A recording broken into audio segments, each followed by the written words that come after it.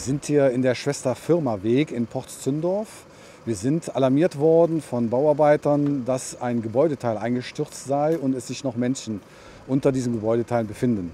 Bei Ankunft der ersten Einsatzkräfte konnten wir feststellen, dass ein außenliegender Treppenbereich, äh, wohl noch im Bau befindlich, äh, eingestürzt ist und hat dabei zwei Bauarbeiter mit in die Tiefe gerissen. Ein Bauarbeiter konnte oberirdisch direkt erkundet werden, war eingeklemmt zwischen den Gebäudeteilen, musste mit technischem Gerät befreit werden und konnte allerdings dann relativ schnell dem Rettungsdienst übergeben werden, der die weitere Behandlung des Patienten übernahm. Der zweite Bauarbeiter ist durch den Absturz in ein tiefer liegendes in einen tiefer liegenden Schacht, in ein Loch gefallen.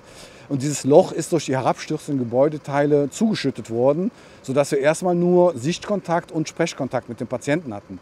Er klagte über starke Schmerzen. Äh, wir haben dann mittels Kran und anderem weiteren technischen Gerät die Gebäudeteile zur Seite geräumt oder so weit wegräumen können, dass ein weiterer Feuerwehrmann bis zum Patienten vordringen konnte und den Patienten aus dem Gefahrenbereich herausziehen konnte. Allerdings muss man sagen, die ganze Rettung hat, weil sie auch unter der Gefahr, dass weitere Einsturzteile herabstürzen, über 75 Minuten gedauert. Äh, der Patient konnte anschließend an den Notarzt übergeben werden, der vor Ort noch eine Erstversorgung durchgeführt hat und anschließend wurde er mit dem Rettungshubschrauber ins Krankenhaus transportiert. Aufgrund des Meldebildes, dass ein Gebäudeteil eingestürzt ist, haben wir ein Einsatzstichwort oder hat die Leitstelle ein Einsatzstichwort Einsturz gewählt. Bei diesem Einsturz werden erstmal Einsatzkräfte entsendet, die also das Manpower vor Ort stellen.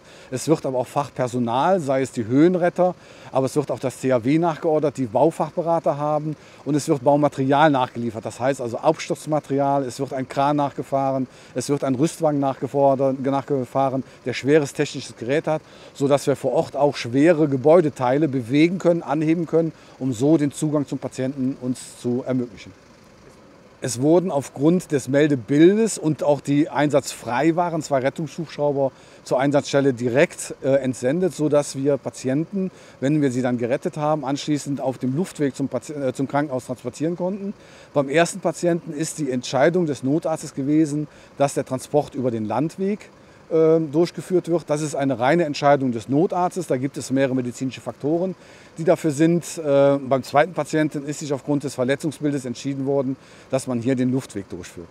Also wir hatten aufgrund äh, dieser Lage, die wir vor Ort fanden, sie, äh, es war ein schmaler Treppenschacht, in dem sich oben noch ungesicherte Gebäudeteile befanden, mussten wir erstmal in höherer Höhe Gebäudeteile sichern. Dafür haben wir dann die Höhenretter nachgefordert, die dann vor Ort erkunden, inwiefern sie bis da vordringen können und auch eine Sicherung durchführen können.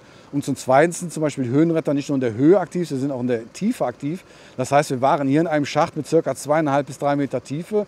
Und um da den Patienten fachgerecht und, und vor allen Dingen, ohne dass wir weitere Verletzungen hervorrufen, herauszubekommen, sind Höhenretter vor Ort, die noch Spezialequipment haben, mit dem wir den Patienten einfach ruhig gestellt aus dem Bereich herausholen können und können ihn dann den Rettungsdienst übergeben.